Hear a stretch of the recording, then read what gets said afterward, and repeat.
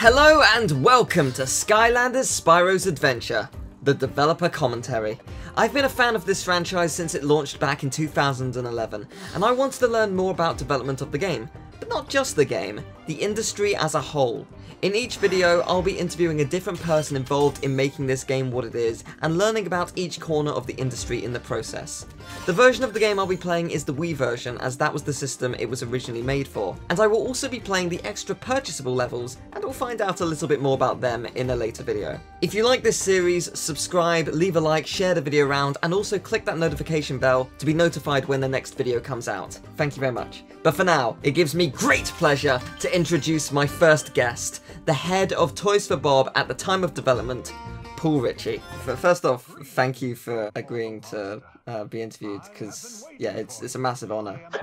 I guess we'll start off with uh, what were your roles during the development of Skylanders Spyro's Adventure? Oh well, my roles um, started off with coming up with the initial um, idea for the concept of toys coming to life. Um, I've told the story before, but I'll tell it again, which is that I got as a studio head for Toys for Bob. You know, we'd been going for gosh, I don't know, almost 20 years at that point. And part of my job as a studio head was interacting with the corporate headquarters, which in this case was Activision down in Santa Monica. And so I get a lot of email that that sometimes is humorously written. And one of the ones I got was from Activision's legal department that said something to the effect of, "We've determined that patents are valuable things. Therefore, if you have any patents, uh, patentable ideas, would you please patent them, and then we will have those patents." and it was not a particularly inspiring like um, you know let's go guys. Let's do this thing. And i thought it was actually so funny that i said okay i don't think anybody else is going to respond to this but i am. So i wrote down three ideas. And um, uh, one of them was for toys to life uh, and the other was for a, a gps land grab game effectively kind of ter- territory capture and both of those patents were submitted. Um, the Toys to Life patents have all come to fruition. Um, and so then that sort of went into the Activision legal department, and I was, you know, working with the studio to finish another game. And then we were working. Um, so Vivendi purchased Activision, and that offered the opportunity to work with Spyro. And so my boss at the time, Dave Stoll, great great boss, um, he said, "Hey, Paul, Toys for Bob should really do a game for the Wii because I think it's the right audience for your kind of game." And also, I think Spyro would be a great license for you guys to use. Are you interested in that? So I thought about that, and I talked with you know Fred and a couple of the other people, Fred Ford, my founding partner, and a couple of the other people in the studio, and everyone's like, "Yeah, that sounds fun." So we we started working on just crazy ideas, and I had, I had totally forgotten the Toys to Life thing at this point. And I started working with designers, and I started working with I-Wei Huang, um, uh, a great artist and, and tinkerer and just great guy all around. And um, he drew something that looked like little toys, and that reminded me, oh my God, we submitted this patent. Um, so then I said, drop some little little monster toys and sort of let's add some like fantasy role playing elements like little magic potions and swords and monsters and stuff.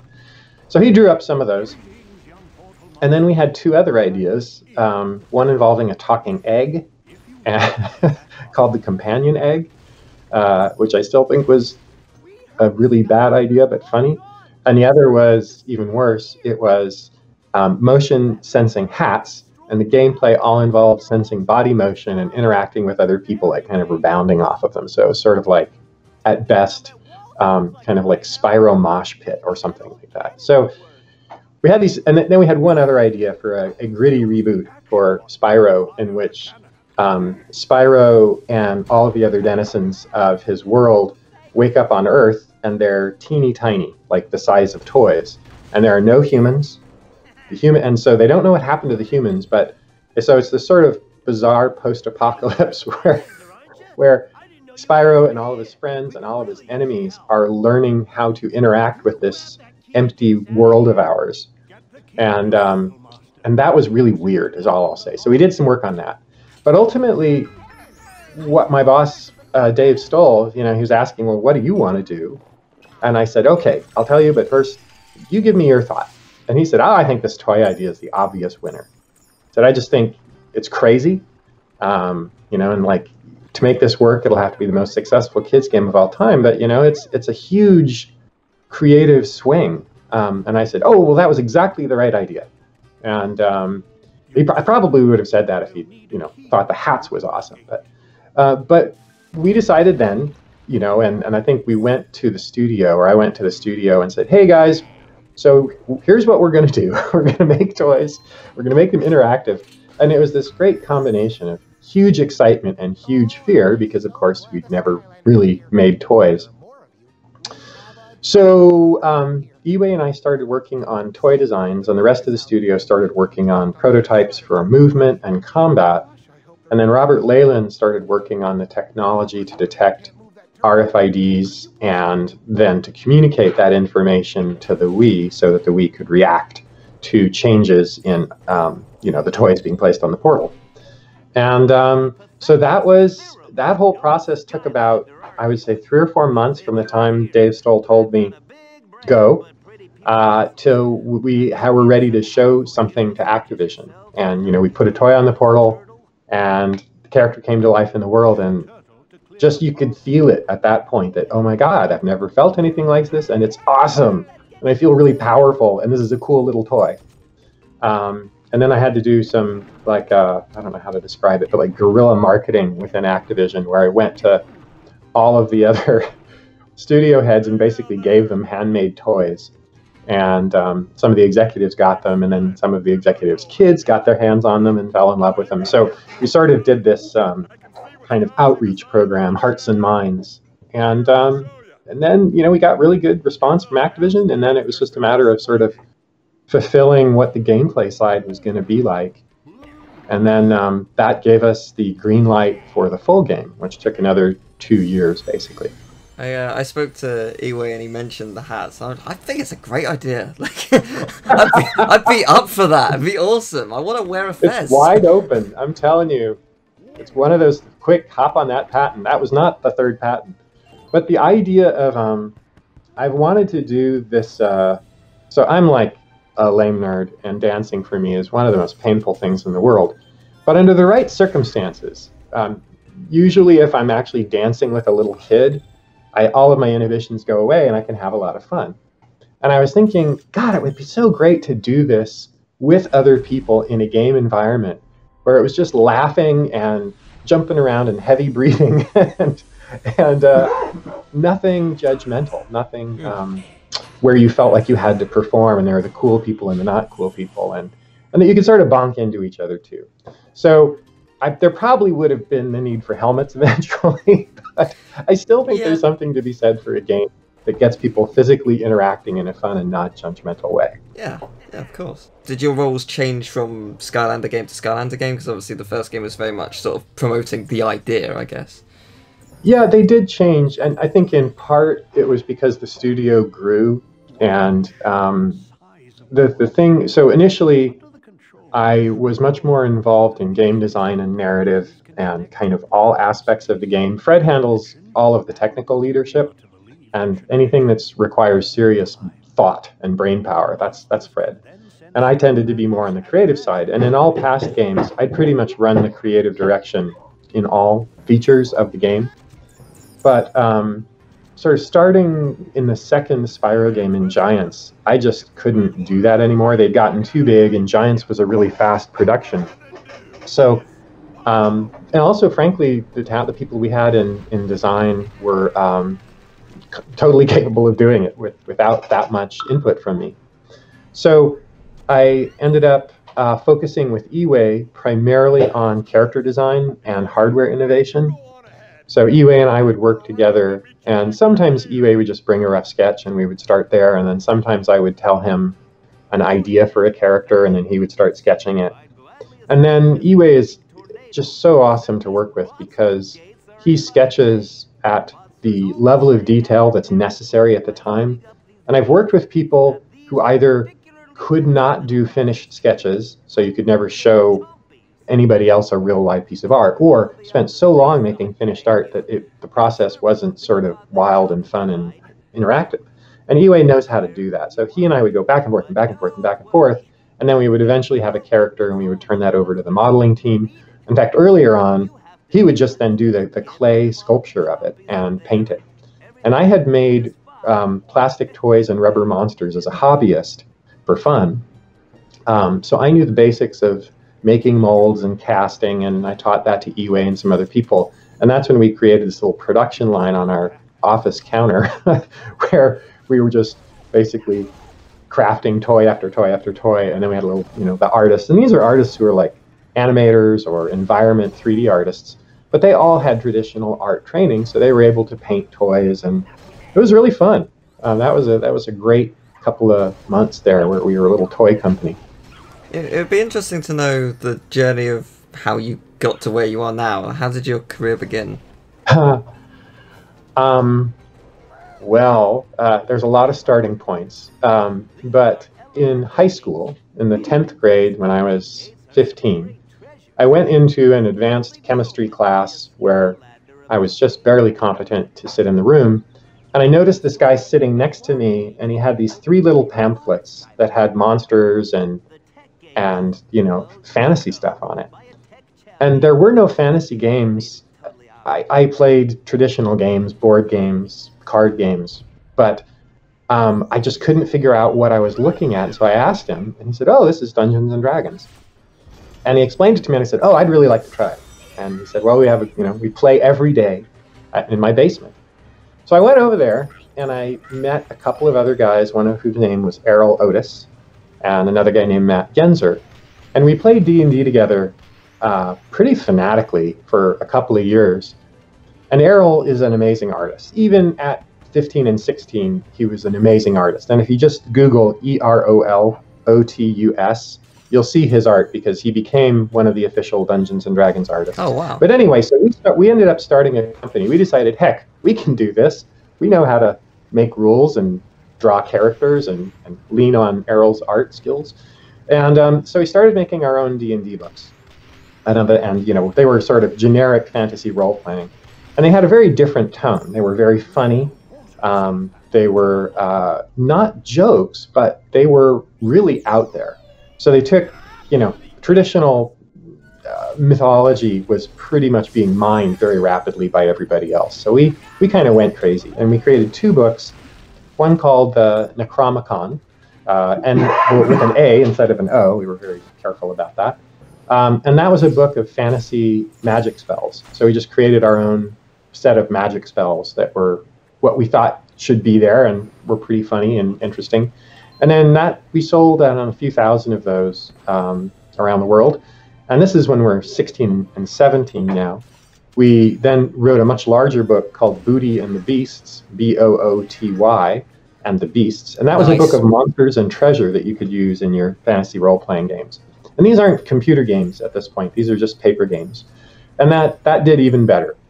And at the same time, actually, before getting into Dungeons and Dragons, I learned to program extremely badly but um, uh, on teletypes um, at a science center up in the Berkeley Hills. So I knew the basics of computers, um, and but I still was more fascinated with role-playing games. So I went to college, graduated from high school, and um, went to college to go into high-energy physics because I wanted to make fusion starship drives.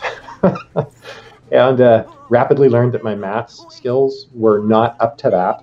So plan B was moving out to Wisconsin and joining the Dungeons and Dragons company with Erol and working there on Dungeons and Dragons.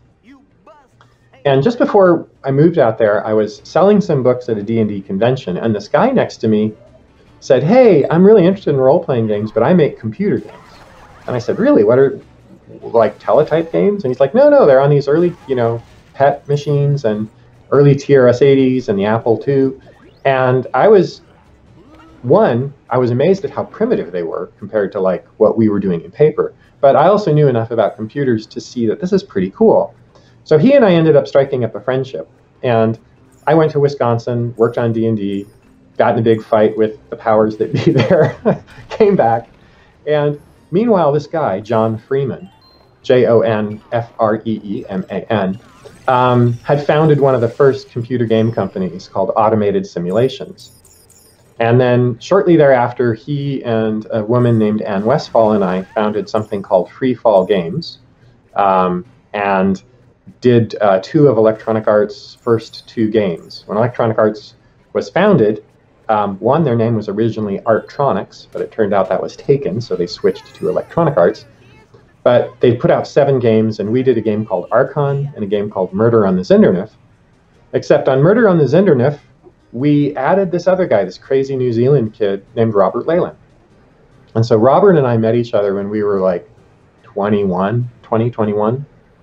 And Robert skipped to the mid 2000s is the person who kind of builds all of our prototype electronics in the Skylanders. So Robert and I had continued to work together on and off through that intervening, you know, from 1981 until until just like last year, Robert and I had worked together on and off. So um, that was so at that point. Then I was working with a studio, making games, and I pretty much just continued to do that, creating new groups or finding new groups. And then in um, so I worked on a game called Mail Order Monsters and a golf game, believe it or not, called uh, Electronic Arts' first golf game. And then um, I worked on a couple of games that uh, didn't didn't see the light of day, and ended up shifting over to Accolade from Electronic Arts. My producer, Shelley Day, moved from Electronic Arts to Accolade and said, "I'll get you a great deal at Accolade. We'll get you a multi-game contract. Um, your future is set." And I thought, "That's great." So I signed up for three games and had I was the only person in that team at that point. So I said, "Oh my God, I'm going to need some some serious help to make three games here." And so that's when I was introduced to Fred Ford. Uh, we, I, I, went to my friend Greg Johnson's. He's another game designer who made games like Starflight and ToeJam and are all great game designer. Anyway, he had a game night at his house, and so we were sort of had this blind date during Fred's or um, Greg's game night, and Fred and I realized that we had a lot in common. We wanted to make games, same kinds of games, and also that we had actually been at university at exactly the same time in the exact same spot. Uh, it's just he'd actually gone ahead and finished university, whereas I had run off to Wisconsin to work on Dungeons and Dragons. So that's when we started working on the original Star Control game. And um, I don't know if you know anything about Star Control or Star Control 2. There was a lot of news about it in the past few years, but very little, we, sadly. It's um yeah, it's uh, we have a lot of very dedicated and wonderful fans for those games. After we did those, we started working on a game called The Horde uh, for Crystal Dynamics. So we shifted from um, Accolade to Crystal Dynamics. And from Crystal Dynamics, we were there for seven or eight years working on Pandemonium and The Unholy War. And at the very end of our time there, we started working on 101 Dalmatians uh, and found out that we really liked making games for kids. And so it was that game that we then uh, there was a layoff at Crystal Dynamics. I think it was Christmas Eve or something like that. Some horrible night to get a phone call that, you, by the way, you don't have a job. Now please call the rest of your team and tell them that too. That's one of those funny experiences in life that is only funny years after it actually happens. Yeah. but then it was a great opportunity because they they laid off a whole functional team, and Fred and I had some some friends who we'd brought into the industry on Pandemonium that had started a game company called Shaba that was working with Accolade, and they said, "Hey, Paul and Fred, just pull together your team, and we'll get you a contract with with Activision." And uh, we said, "Oh, huh, okay. Well, that seems like a nice way to start off a studio." So that actually worked, and we started working on um, Disney's Extreme Skate Adventure, which I think is a really great game. I'm going to stand up and say I loved our Tony Hawk based games. But um, so we did that, and then we started working on the Madagascar games and Tony Hawk's Downhill Jam. And throughout this year, I mean, just, our studio goes from me and Fred in a small room to me and Fred and Robert in a small room to me and Fred and Robert and, and Ken Ford, Fred's brother, also a programmer. And we just add people slowly but surely until by Skylanders we're up to like 120 or 130 people. Um, and it was very organic, but my role went from being the only artist and designer to being mostly the artist and designer. We hired a few people to help, and then, you know, by the time we're starting to work on the Madagascar games, my job as studio head was a lot of management, a lot of con- conversation with headquarters down in Santa Monica, and then some kind of creative oversight. So you just got a really complete, long-winded version of how I got here. I mean that that's what I wanted. Like it's the the whole point of this series is to you know is not just learn about the development, but also learn about you know the industry, what it what it's like getting into it, what it's like being in it, and like I, I hope that like people hear these stories and and and be like, oh yeah, I want to do that. Like that's yeah, that's... I, I hope so too. It's, I mean, you know, when I got into it, uh, you could fit everyone in the industry in you know a large house probably. um, and you know, the first game developers conference that you know we, we went to the prototype game developers conferences that EA held, and then my friends started the first game developers conference, and you know Fred and I talked at them, and you know it was the, there was like 30 or 40 people in the audience, and um, so the world was very different then, and it it just wasn't part of um, it wasn't understood or cool really in the broader human existence. So it still was sort of our secret that we had these great games we were making. And then, you know, now it is the dominant form of media, really. Um, it's just astounding to me to have witnessed that change. And I think we've, there have been fun things to do all along the way. They changed a lot, but it's still I love coming to work every day, and you know, Fred and I have sat three feet away from each other for over 30 years now. Um, actually, Toys for Bob is 30 years old, so yeah, so it's uh, yeah, over 30 years. So, and that's a pretty amazing accomplishment in and of itself. Um, so, I think one of the things that I was talking with the new heads of Toys for Bob, because Fred and I have gone into this sort of like weird uncle phase of our existence where we're not actually leading Toys for Bob anymore. We're in the office, we're working on something, but it's not as part of Toys for Bob proper. Uh, but we're around to kind of offer advice when they ever need it. And I was talking with the new studio head, Paul, and he was sort of talking about how they he has taken the culture of Toys for Bob and, and Avery Lodato is his technical partner, and how they interpreted what we had created in the culture, and we're trying to kind of continue it and and enrich it further. And he said, What I've realized is you didn't make Toys for Bob to make money or to get famous. You created Toys for Bob because you love to make games and you love to be with people who love to make games. And that's really true. And, you know, it's, there's nothing like seeing uh, fans love your game, particularly kids, because they're so not judgmental, or adults who act like kids. Um, it's just pure joy. But also just being around people who have the same weird commitment to entertaining others through games is um that's that's my favorite thing about coming to work. That's that's fantastic. Um, I want to go back to Skylanders, a bunch of like little potentially quick fire questions. Uh, we'll we'll see. Um, I'm pretty yeah. Feel free to um, give me a time frame we, if you need it. No, no. no. Um, but yeah. Uh, so there was there was a rumor that a game called Spyro's Kingdom was in development. Was that Skylanders Spyro's Adventure, or maybe was it even the gritty Spyro reboot idea, or, was it even a thing? Like that was the code name for um, Skylanders Spyro's Adventure early on. I can't remember if we used it for the gritty reboot. I don't really think that ever got a name, although it's sort of like a weird fever dream that idea. there's something there, but it just isn't charming and delightful. What would you have done in the game? Well, the premise was uh, first it was an exploration adventure, but in it it was set with you being about six inches tall. So it was a post-apocalyptic toy story. Right. And as you were exploring the world, Spyro's enemies were also exploring the world, and so they were finding like ways to make knives into swords, and then it was a sort of watership down existence where.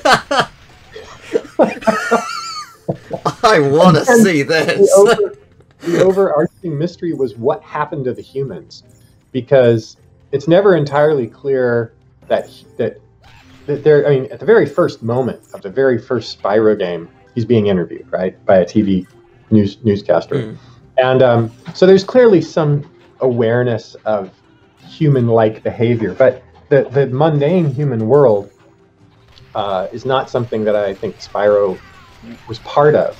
So we were part of what we were trying to do was we were seeing that the development and the visual technology which we were being pushed to use really was great at doing realistic things, but that we could make nicer cartoon things. But the real dramatic change would be if we could sort of blend these cartoon characters, bring them into 3D, and then put them in the real world, and just this bizarre contrast. And part of the reason I wanted to do this was I was told at this point that kids' games could not work economically.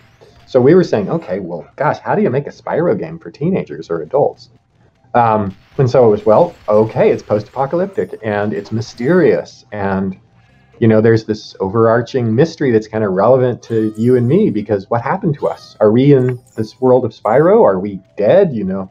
So anyway, and I have a fascination with post-apocalyptic stuff anyway. So, but ultimately, sometimes things that are really interesting to you as an individual are not very interesting to people in a larger sense.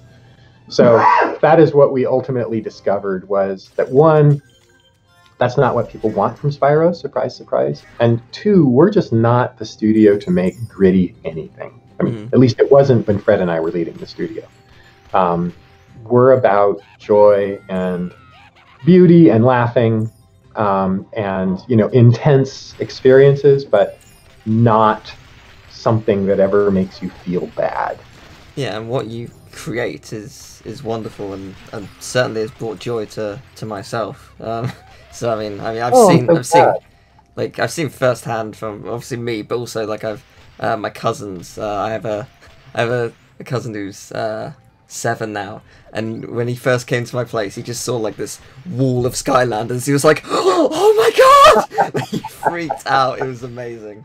I loved it. I was I was in Ixtapa, Mexico, this tiny little airport in the coast, west coast of southern Mexico, about three weeks ago, and I was exhausted after a vacation, and I was traveling with an eight-year-old boy, and there was this other family, Israeli family, that had boys about the same age, and they were sort of, you know, uh, kids in an airport. They're going to play with each other, and then one of the kids looks up and he sees my shirt, and he's like, "Skylanders? Why, why do you have a Skylanders shirt on?" And I go, "Oh, you know, I worked on the game, and and uh, and the dad looks over to me, real serious, and he says, "You worked on Skylanders?" And I said, Yeah. And he said, What did you do? And I told him, and he goes, You owe me a lot of money. and then he said, I can't believe. I can't believe that you would have a game where when the toy's defeated, you can never use it again. And I kind of looked at his kid and I looked at him and I realized there was something going on here. So I said, you know, that is not exactly the case. You know, the toy can't be used for a few minutes or until you restart the level, but it works. And his son, I think, had told him a bit of a fib right. in order to get more toys. I see. Wow. Uh, to, to quickly. So even in southern Mexico, you can run into Skylanders fans. They're on the trail, and we, we've had stories from like above the North Pole to all over the world. Did you expect Skylanders to get as big as it did? No, I, I never expected anything in my life to get that big, and I don't know how you do. Um, we thought it was really cool, uh, but you know, we'd never made toys. Activision had never sold toys, really. Uh, they'd sold lots of stuff for uh, Guitar Hero, but this was different. And you know, for the first couple of weeks, it took a couple of weeks to catch on. And so for that first couple of weeks, we were like going to the stores and seeing the stuff on the shelves and seeing people sort of try it out. Um, and then one week, it just took off worldwide. And whether it was in Germany or Sweden or you know U.S. or Australia, it just I don't know what happened, but like the the you know kind of collective unconsciousness of children everywhere latched onto it. And then the next thing we were told was, "You fools! You didn't make enough toys." And you know, but they didn't actually say that. But they're like, "We got to make more toys." And unlike discs that you can just print really quickly. Toys you have to manufacture and then ship on boats and stuff. So there was, you know, a month or two where there was no toys in the store, and everyone thought that was clever, clever marketing, but it was totally accidental because no one could have guessed how well it was going to do. And then with Giants, you know, we just um, you know, we're like, oh, what, what, what can we do? Let's make great big toys. Let's make toys that glow. Let's. I mean, it was so fun to explore all of that. And Robert was working on, you know, toys with um, uh, supercapacitors, and I was working on lasers, which it turns out there's no safe amount of laser light for children's eyes. Um, learned that in advance of any injury, by the way. But um, we had all kinds of crazy stuff going, and it was just so fun to work on. Once Skylanders began to take shape, was it always called Skylanders, or did you have another name before that? Um, it was Spyro's Kingdom for a long time. Then, for a very short period of time, people were recommending Monster Squad, which thankfully was already taken. Um, and someone down at Activision, I, I, think we knew it was Skylands. We had we had already decided it was Skylands, because in one of the very earliest descriptions I wrote, I said, you know, the world is an infinite vista of clouds and sky with floating islands. You can travel any direction as far as you want and just find new adventures. And so, so we knew it was Skylands, and then one of the I think assistant producers just said, "What about Skylanders?" And we all sort of went, "Huh, that's interesting," and you know started searching around to see if anyone was using it for anything and if the URL was available and and then, you know, we proposed all kinds of other ideas, but that was the one that we kept coming back to. And so for a long time, it was just Skylanders. And then we were like, oh, wait a minute, we forgot. You know, Spyro's this hero. We got to make sure he's in the title. So that's how he, we ended up wanting to reinforce his presence. So that's Spyro's adventure ended up being tagged on. I see. Uh, so the game was released on October 13th, 2011, although it's that was in Australia. There was, I think, the 14th in Europe and then the 16th in America, if I'm remembering correctly. Uh, when did development actually begin? Two and a half years before that, basically. I, I don't know the precise day. I, I could find it for you if you really want to know, because I, I my dad was in the hospital and I was um, sitting in the parking lot uh, in Phoenix, Arizona, talking on the phone to my boss, Dave Stohl, when he said, "You guys are, you know, do you want to work on Spyro? And I said, yeah. Um, it took about three or four months for us to settle. I think that that it was the toys to life route that we wanted to go, and it was probably three months after that before we had our prototype. So, and then I think when we had the prototype, when we had the game running with toys switching, it was two years from that point until we finished. So you can kind of back up and, you know, uh, let's see what is probably you know sometime in like yeah that would make make sense probably early in the year, um, so probably like February or March uh, of 2008, 2009. Gosh, Fred, what year did we start Skylanders? Uh, I think it would have been in late 2008. Okay, late 2008. See, I told you, Fred does all the, the hard thinking. so, how, how does it work to, with uh, this they came to you and said, "Do you want to work on Spyro?" But in some cases, like with the uh, the patents, do you pitch something to Activision, or does it does it vary from game to game? It varies from game to game. Um, you know, there's there are many studios within Activision. Um, the population has changed over time, and what we focus on changes over time. But there's sort of opportunities which are known. Like, hey, we want to do this Disney game. We got a, a, contract with Disney to use three of their licenses, and we want to make a skating board game for kids. so that was handed to us by Activision, and then we fulfilled it.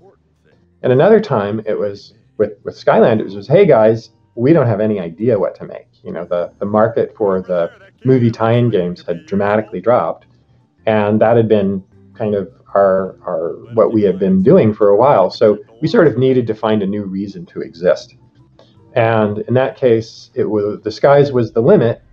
You know, Spyro was was a part of it, um, but that was a very wide open. Um, what do you guys want to do?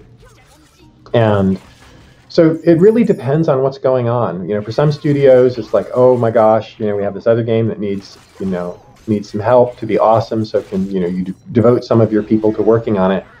Toys for Bob has had a limited amount of that because our focus is so much on kids. So, you know, studios like Beenox and Vicarious Visions, we're sort of the the younger more colorful, sweet game studios. But even VV and Beenox now are helping Call of Duty, and there's a, you know, as the number of lic- uh, franchises has shrunk within Activision, there's been more and more studio collaboration uh, around a smaller number of titles. Was there ever a consideration for Skylanders to be a different genre? Uh, yeah. I mean, I think, I think we talked a lot about. Well, I guess it was sort of the the, the proportion of of genre ingredients because I Fred and I like to make genre blending games, uh, and so we knew it was sort of a, a fantasy role playing slash action platformer, and the amount of puzzle solving and the amount of traditional role playing versus the kind of just free motion was uh, the big choice. So Sonic the Hedgehog has always been one of my kind of acmes, one of my models for the joy of movement. It was very intentionally designed to not make you afraid to go fast. Whereas in most games, if you go fast, you die or you, you don't succeed because you know there's a problem and the problem needs to be observed and, and dealt with carefully. But in Sonic, you know, you almost always had at least one ring and you know, and you could almost always catch rings when they get knocked out of you. So just the joy of movement was was important. And that's something that we've tried to have a fair amount of that and then however, as we started looking at the way combat works, combat was built around um, essentially three archetypes, uh, which was um, contact uh, characters like chompies, um, you know, lobbers that would sit back from a distance, and then indirect fire people who could hit you uh, with, with, something and sort of cheat. And then barriers that either you could hide behind or gaps that you had to get over. Those are sort of the game design components that we were working with in as far as most enemies. And when we once we got to that, that we realized that we couldn't rocket through the terrain because that did require you to to observe what was happening. And part of that just sort of we, we we kept backing up and saying, well, we want to have all these characters. You know, someday we may have 50 characters. and so that's a lot of different powers. So you have to have stuff to act on with those powers. You can't just jump on their heads and have that be the solution to everything. So so that meant okay, there has to be complex and interesting things that the enemies do to you, which means you have to have time to perceive them. So that sort of slowed the game down. So it wasn't a fast, fast moving platformer. And also, we were just discovering how expensive and hard it was to build cool looking worlds. And if you could just rocket through it in, you know, three minutes, that was no fun. So that's sort of what made the game's pacing what it ended up being. And we debated a lot about the platforming components. And you can see the transition between Giants and Swap Force, where jump was added. And yeah. man, we, we were fighting that because what we thought was that the younger audience would get stuck on the jumping puzzles and that the game would be about. So, in a nutshell, Skylanders for me was about making you feel awesome as this character, this interesting and unique character. So, we wanted the enemies to provide you with this really rewarding opportunity to defeat them. You know, they really weren't there to to kill you. I mean, they did if you weren't careful, but some games it's out to kill you, like you know, Dark Souls, for example. That's that's what it's all about, and that's what makes it awesome.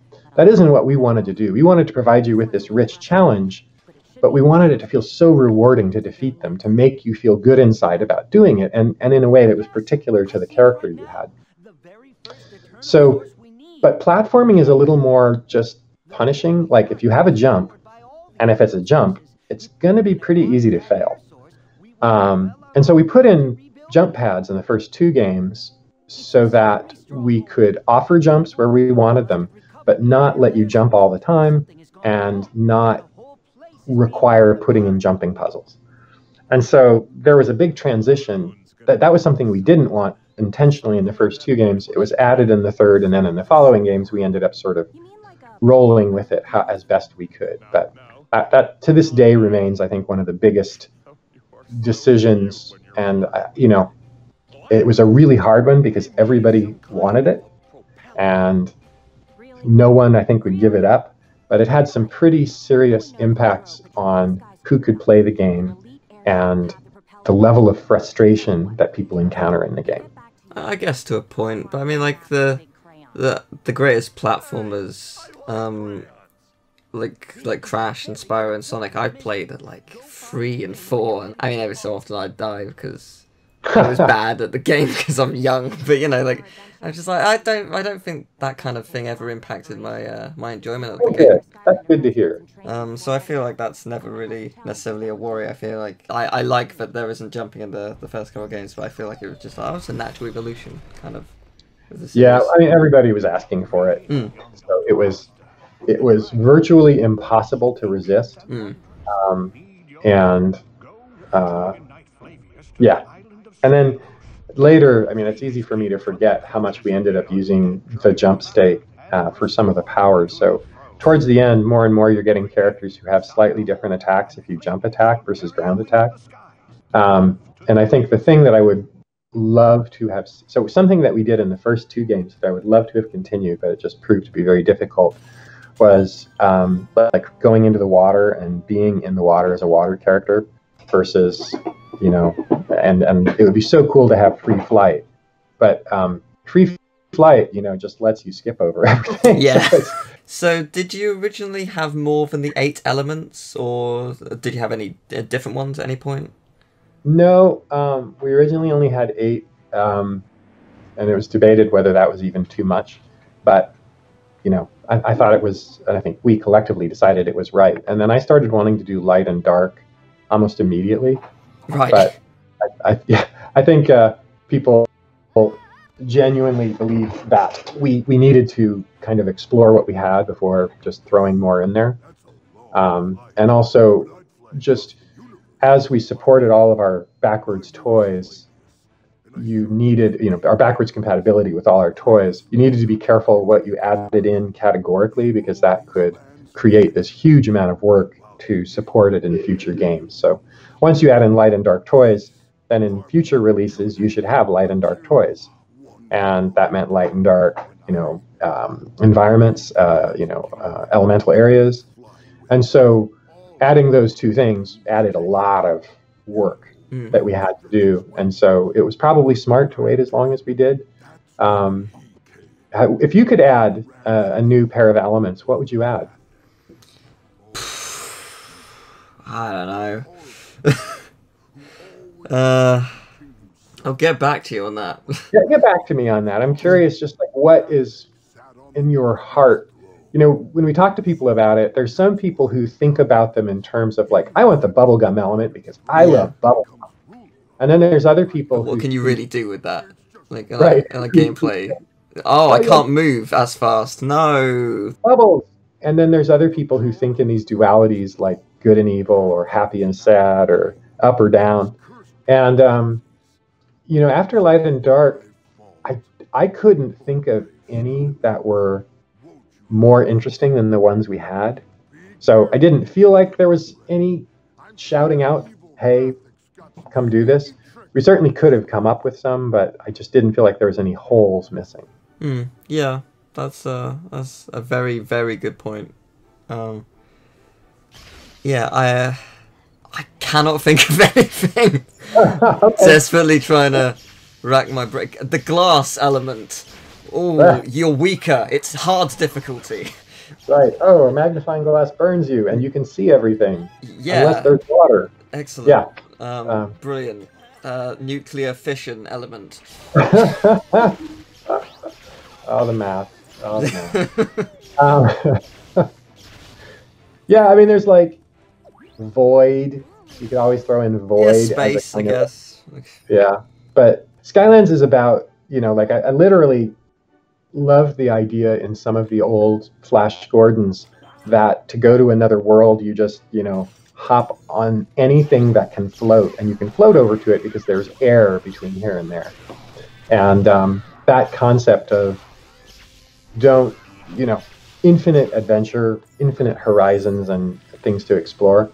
That to me was just so inspiring I never and, and I really fought anything that had a gave a sense that there was a limit to Skylands or that something that could simultaneously destroy the whole world of Skylands. That has come up a number of times, but I just you know the core of light was about as far as I wanted to go uh, in terms of something uh, that had a very very very broad impact because I sort of wanted the idea that there's there's more stuff happening you know a thousand miles or a million miles away um, could be anything and just that this is this infinite world of adventure uh, I really like that idea.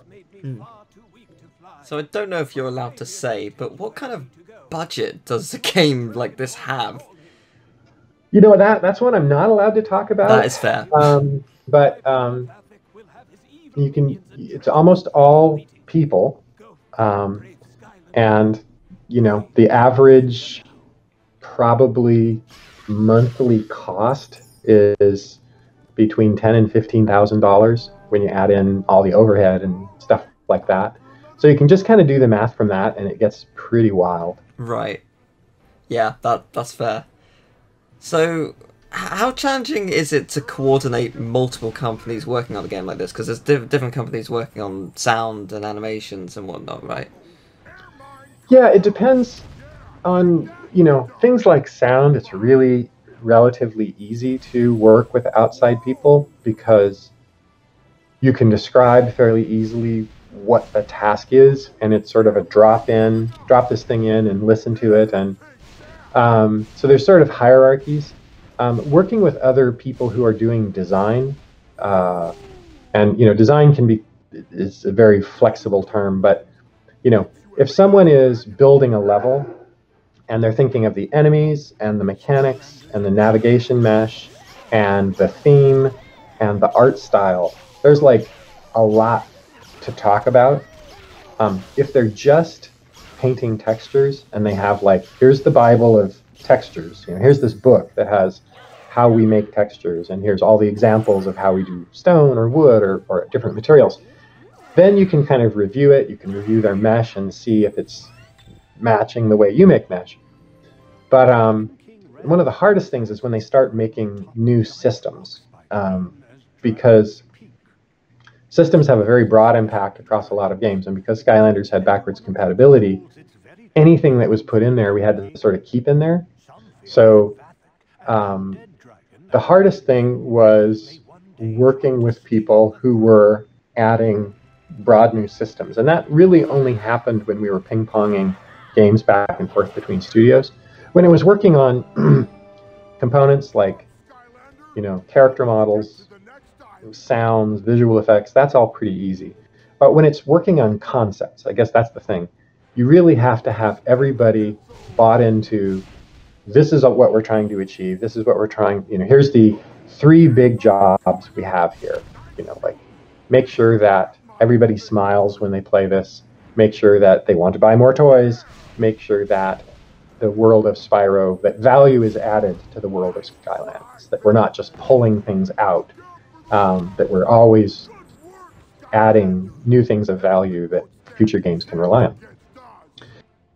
And so you really have to have someone who's stated those pillars uh, and then someone who's got the authority to maintain them.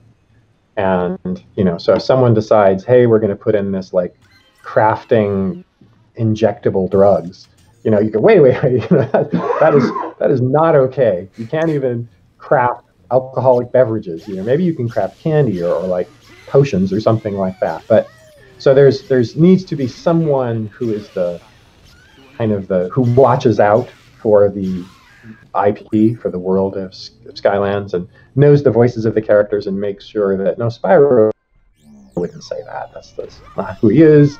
Um, and you know, anyway, there's I would say that in the, the hardest thing is when you're working with people doing conceptual design outside your immediate creative circle.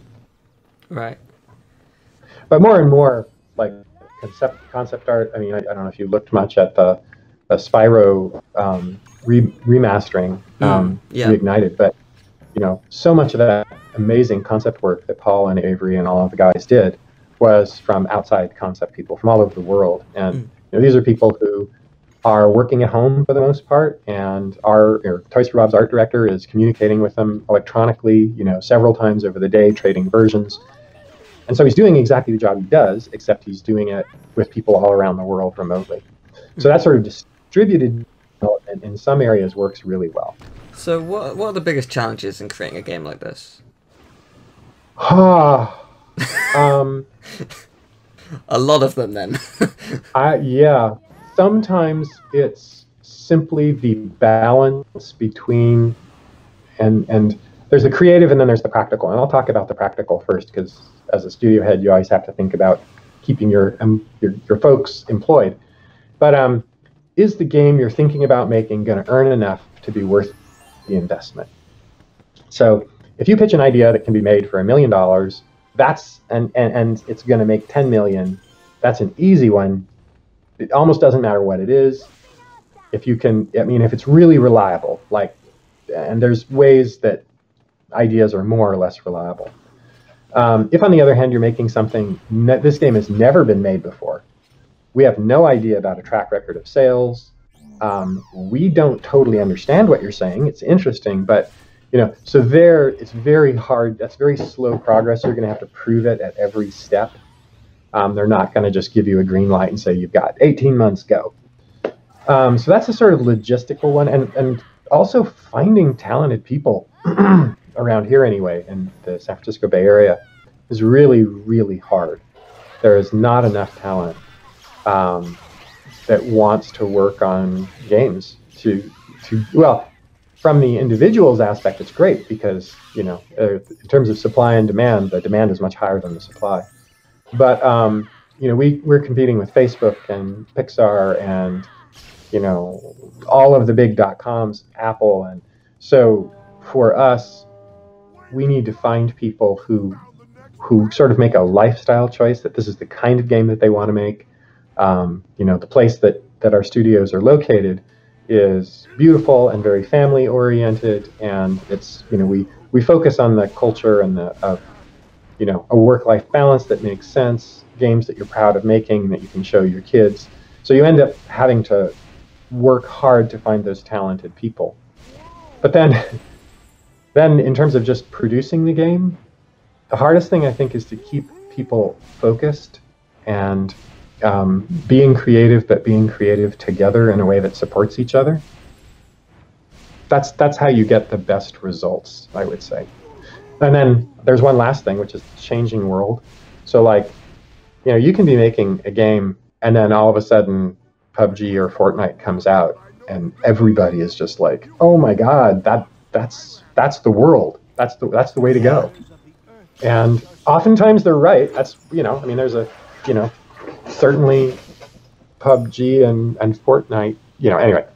So, so kind of knowing when to chase the latest trend and when not to is one of the hardest things because there's reasons to do both.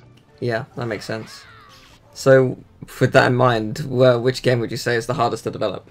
Uh, I'm gonna I'm gonna bring Fred in on this. Fred, can you hear me? Yeah. So, which game was hardest to develop?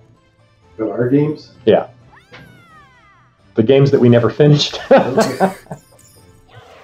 We've had several games we didn't finish. Well, they as time marches on, they all require more work to finish.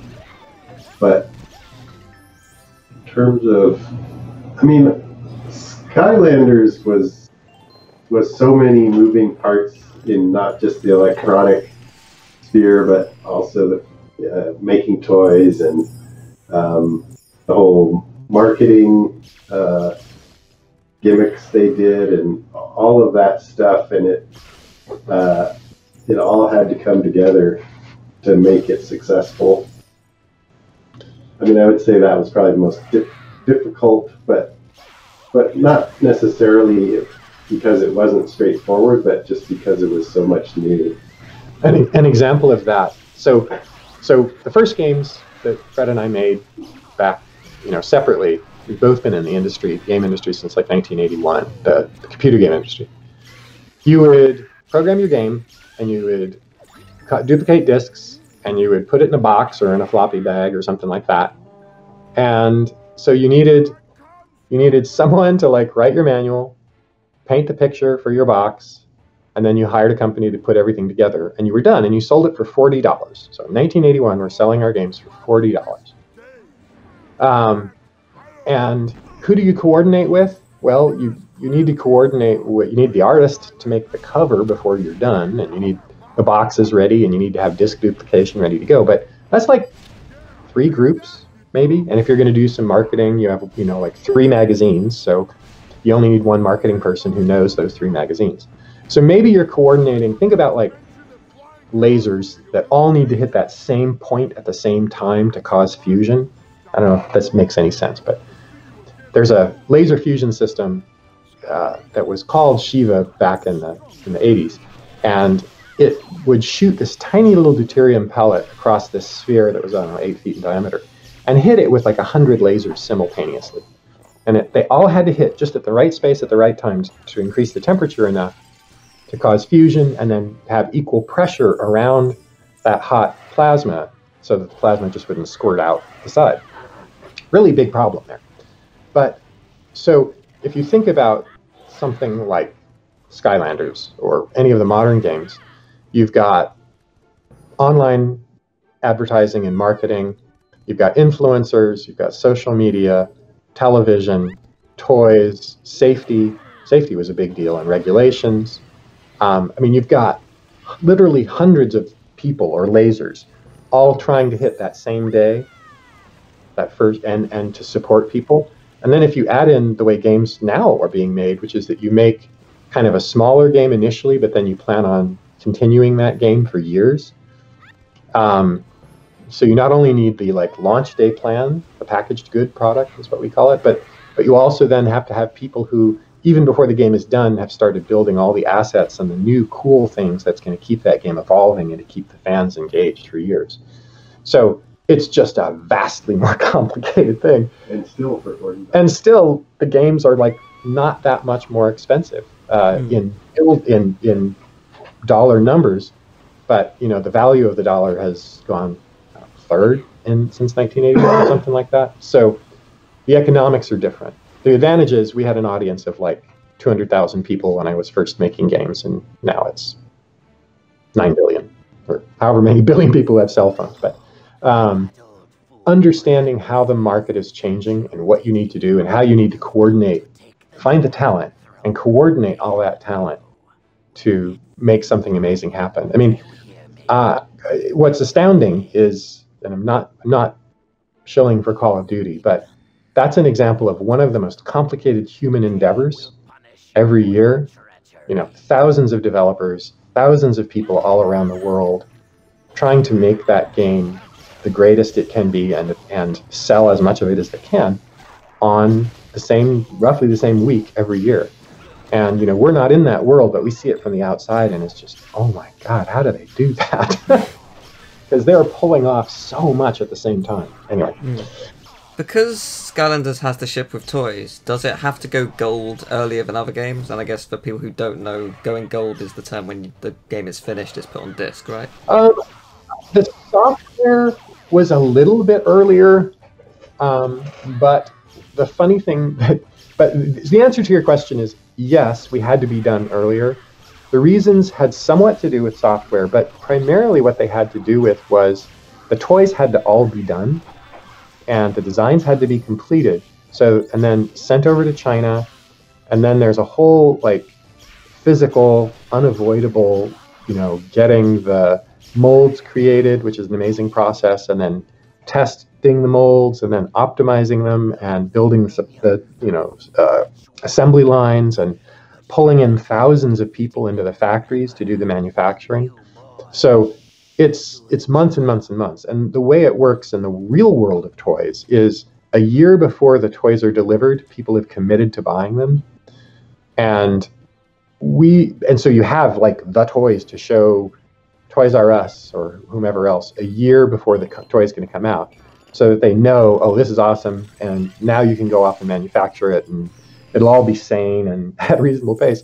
We were working right up until the last second you know, we literally had people in China working with them on exact paint strokes that we wanted to have to to you know either optimize, you know, make it one paint stroke less or one paint stroke more. So we were and we were selling our toys months before they were going to be in the stores instead of a year or two. So the um, and then it takes six weeks to get the toys back. You know, just you know they they go on a slow boat and then they go on slow trucks. So the, the physicality and the just the mass of this stuff introduced a big advanced thinking and far more complicated thinking. I mean, I don't know if I-Wei ever went over with you what it takes to paint one toy. No, But- not specifically. Oh, it's like this great puzzle. I mean, there's there's a there's an idea in there. I mean, if it's But- manually painted, it must be. It's so intricate. Every toy is so, so compact, and there's so many different colors, and it's like it must take Yeah. ages. And and so you de- you know you design this toy in 3D or in a drawing where there's no physicality at all. And then you build a 3D model or a sculpture, and now it's got a 3D form, but oh, hey, it's got to fit inside the package. So, do we know the package dimensions? Yes, okay, good. So, you make your toy fit in there. Oh, but it can't be any too sharp, and it can't be like have a thin arm holding a heavy sword, or that it'll droop. And um, so then you can't. You have engineers who take the toy and they sort of cut it into parts so that the toy can be cast in these individual parts. Now you can choose different color plastic base for each of the parts. So in some cases, you could have like a gold arm with silver detail around it, and on the other side, it's literally a cast silver arm with gold detail because you could use less paint operations to do that. So you start off with this just like painting, and like, oh, okay, we're going to have the smooth color gradation going down his back, you know, this rainbow cape. And then it comes back and you've got 28 paint ops just for the cape, and your budget is like 30 paint ops, and, and you know, the eyes are going to take two or three. So it's just like, oh boy, how do we do this? And okay, what if we cast the arm in this color? And okay, we'll get rid of this detail, because but we'll we'll um, cast it as a separate part so that we can use a different plastic. And so it's this ever evolving optimization so that you can get the most detailed toy that's the coolest uh, with the budget that you're given. Um, so, and pennies, man, you never knew how important pennies were. Like, if you can save a penny in it, if you work for a day and you save a penny on a toy, that was a really good day. How soon after the release of one game did development on the sequel begin? we were working on Giants before the release of Skylanders. Right. Um, uh, so with the other ones, uh, was, Giants was a real push because we did that in a single year. With the other ones, we started having two years, and so we would get the concept settled with Activision, and the and we'd start working on the technology um, innovation before the game was done because you know I-Wei and Robert and I wouldn't be necessary for the finishing the game software. So we would move on to pitching ideas and getting Activision to greenlight one of the ideas and then prototyping the electronics. So like um, Trap Team was this amazingly difficult prototyping phase because we knew we wanted to reverse the magic and suck characters from the world of Skylands into our physical world toys, our world toys. But we didn't know how to do that. And so we were experimenting with projectors and holograms and all of these things, which were crazy impossible to do. Um, and then we were just tearing our hair out. Uh, and oh, it was the sound department that figured it out. They did a prototype, and we are all just like, "Oh my god, that's so brilliant! How did you guys come up with a sound solution?" Sound guys. Um, so, but that took three or four months, I would say. So that was that was a scary one. Was there a lot of nervousness when it came to launch of the first Skylanders? Yeah, all of us were nervous. I mean, we loved it and we had poured our hearts into it, and it was super risky and it seemed super magical, but we just didn't know.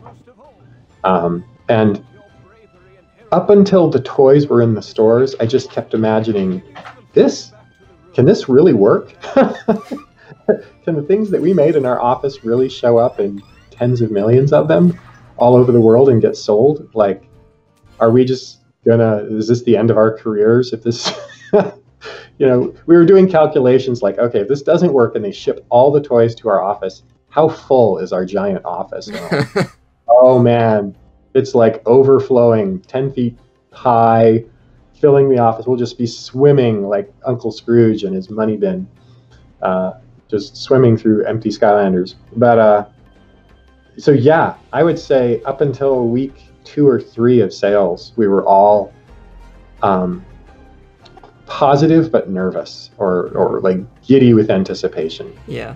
Were there any limitations because you were creating a Wii game first and foremost? Yeah, there were some. I mean, just sort of technical visuals, yeah, and memory wise. But um, we were we had been working on the Wii for a while, so we sort of knew how to get a lot out of it. Um, you know, we tried doing more stuff with motion control initially because you know you have the controllers, so why not use them?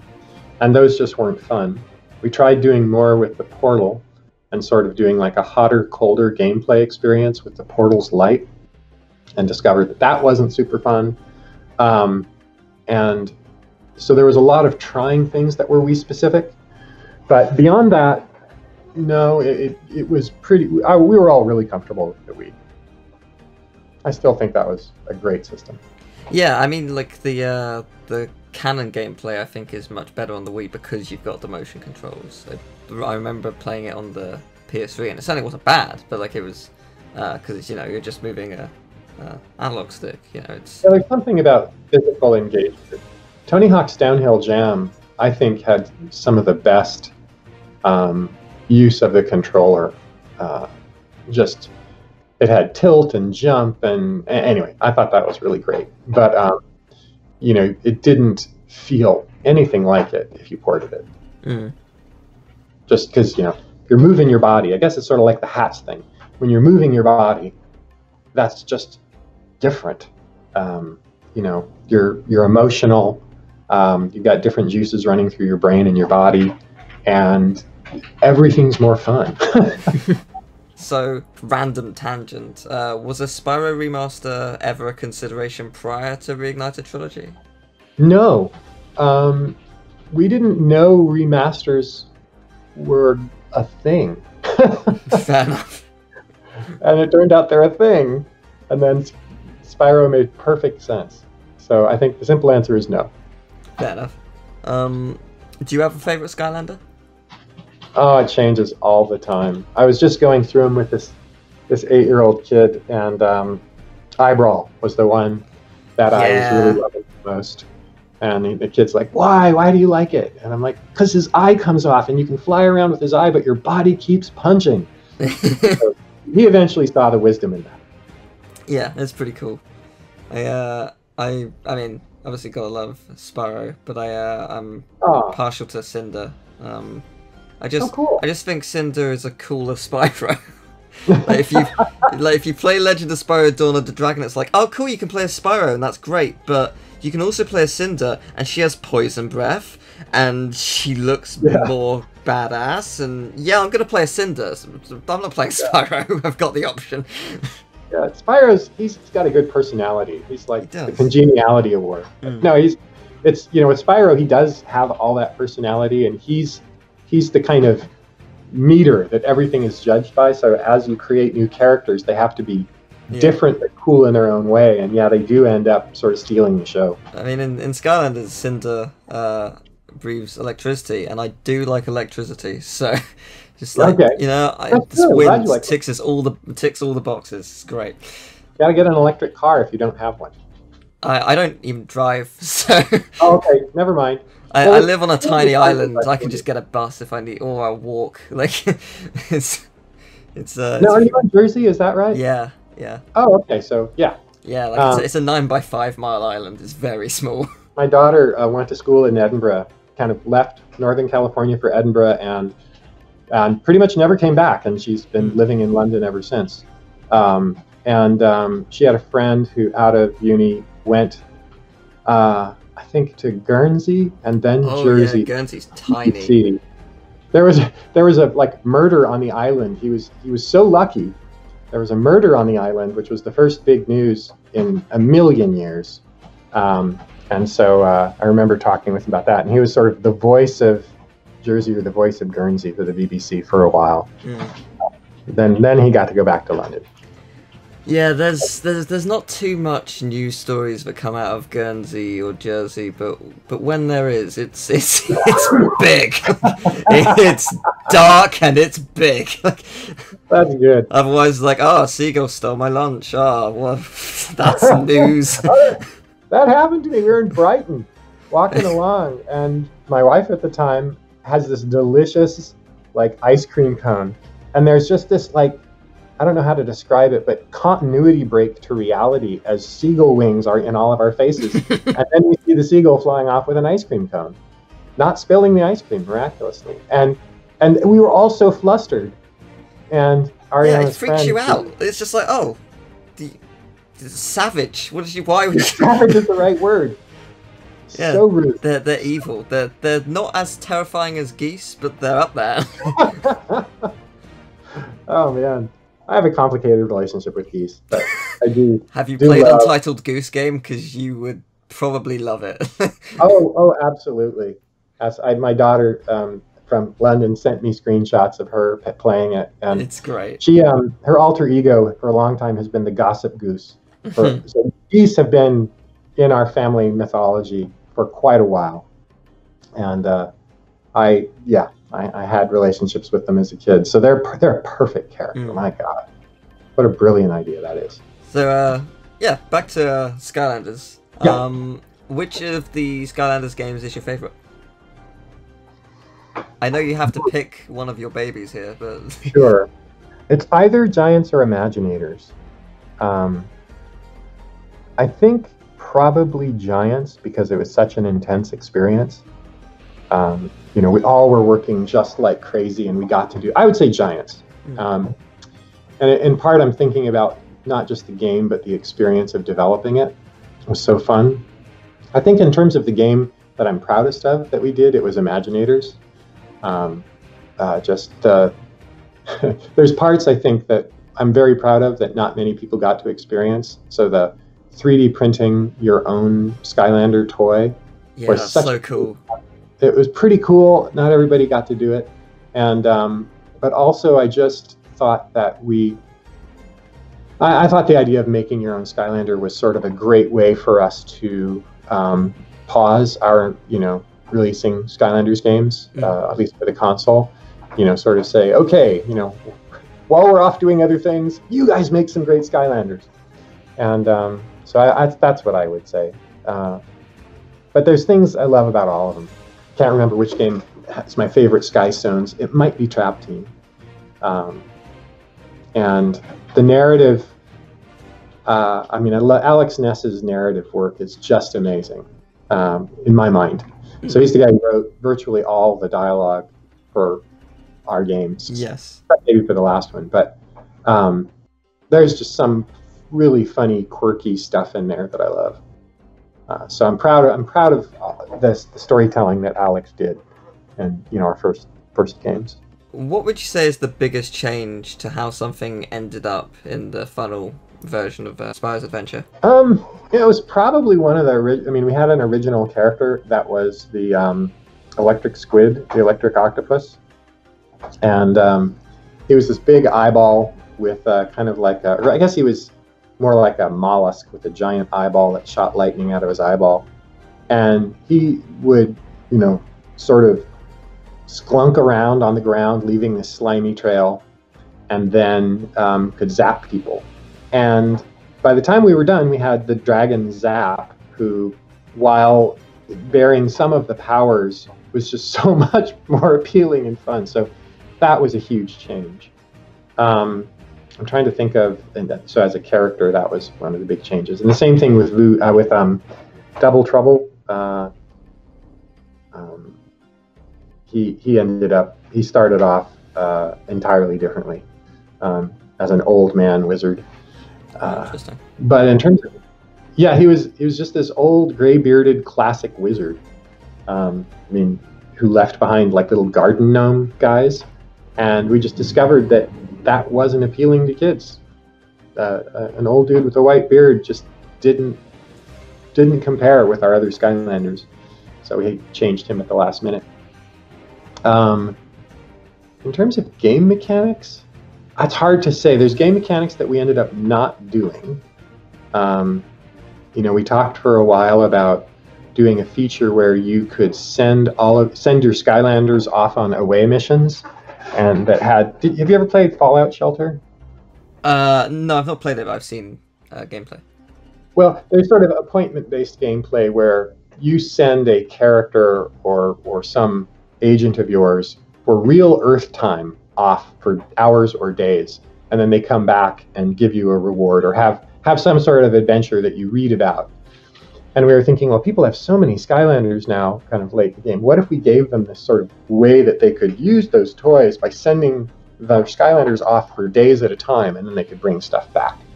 And that way, your toy collection would matter. You couldn't use that toy while it was off on its away mission, uh, but but you could sort of take advantage of the scale of your collection to do these things because some of the missions would require combinations of many Skylanders to even start. And I thought that was a really cool idea. It's just it didn't dovetail with the rest of the game, the the, the pacing, and the, it just wasn't fun in that context. Right. But um, that's a feature that I always wanted to have. I think it probably like could have been an interesting like post game sort of mode maybe somewhere. Yeah, I think it's a great idea. Yeah. Um, I'd love to see it. Big question. here. We say the weirdest thing that happened during development. Mm, Fred, what was the weirdest thing that happened during development? Of, of any of the Skylanders? Yeah. Yeah. Things are just kind of weird here as a general rule. Um, let me see. There are some very poignant things, but those weren't necessarily weird. Um, wow, that's what I may have to put some thought into. Um, I mean, sometimes the weirdest things are when you end up getting in like a verbal argument verging on fight with someone over an issue, and then you take a step back and realize we're talking about a power where the character is squirting stuff out of his eyeball, and we're almost getting in a fight about this. this is like this is a 21st century problem where two adult, you know, um, in this case, men who are college educated and, you know, just have been uh, careers for years and years are so passionate about what they do that they're yelling at each other and we're worried about blows exchanged over the exact manner in which juice squirts out of an eye. Because in the moment, it's totally serious. Yeah. And spoiler alert, I'm one of the two guys. I think the correct answer is water bottle with like just squeeze that amount. Yeah. Huge. I like that. Exactly. Yeah. Can't be. Can't just be a dribble. That would be. That's Vitreous fun. humor as well as aqueous humor? No. No. Um, but anyway, so that's that's my story. So uh, you've moved on uh, from Toys for Bob. You said you're still in the offices, uh, right? Just like consulting here and there. Yeah, I mean we're we're we're working on a project. Um, it's unannounced and Hmm. probably won't be for, for quite a while. Fair enough. But the, the great thing is that Fred and I get to be intimately, creatively productive on it. You know, there's very little overhead in terms of management right now, and um, you know we've sort of got the uh, freedom to explore a lot of wild, I in, some- in some cases crazier than Skylanders ideas. So um, we're that's that's what we're doing right now, and uh, you'll you'll hear from us, but you know, but it's not this year. That's fair. Uh, maybe not next year. That's awesome. Uh, I guess finally, uh, what advice do you have for anyone looking to get into the gaming industry? Talk with people in the gaming industry.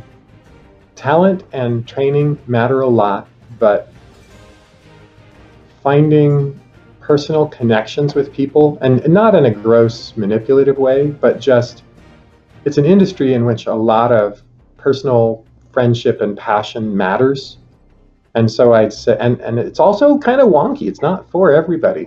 So I do whatever you can to spend a little time in a studio or in a development process. So potentially um, try working in some related part of the company. And if you can't get a job as an artist or as a designer, maybe take a job in production or even in quality assurance and testing just to see what it's like and to meet people. Um, and the other thing I'd say is work on games that you're passionate about and that the other people are passionate about. There's games that earn a lot of money and pay a lot of money to people who work on them, and that's fine. And you know, we all need to earn livings.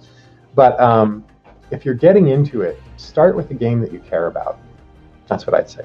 That's great. Thank you very much uh, for agreeing to do this. It's it's been a wonderful uh, experience talking to you in depth about this because, like, Oh, as, sure. as I said, like I, I I love Skylanders and I love the gaming industry, and I feel like not enough people truly understand, and myself to a, to a degree, truly understand what what happens within the gaming industry, and and and not everyone realizes just how wonderful it is, and and like I've met many people at Toys for Bob, and it's you're, you're all lovely people, and it's just it's it's great to uh, to you know share that.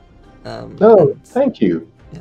thank you. And you know, Fred and I, Fred and I can take some credit for what Toys for Bob was. Paul and Avery, uh, and actually all the new folks at Toys for Bob for the past couple of years, they they have really taken our idea and run with it. And I'm just so proud of what they've done. And that is that. Thank you very much for watching. I hope you enjoyed the video. If you did, leave a like, subscribe, share the video around. I also have a Twitch, a Twitter, and a Patreon if you would like to support me and the channel.